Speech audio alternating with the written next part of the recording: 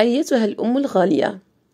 يجب أن تضعي نصب عينيك حقيقة أن الأطفال ليس لهم أي ذنب فيما تعانيه من ضغوط تجعلك متوترة وعصبية.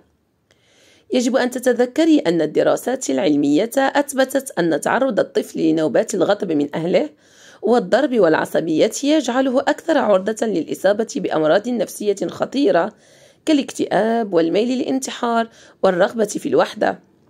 في بداية كل يوم يمكن أن تعاهدي نفسك بألا تهيني طفلك أو تسبيه مهما ارتكب من أخطاء وألا تضربيه نهائيا وألا تصرخي في وجهه أو تخاصميه.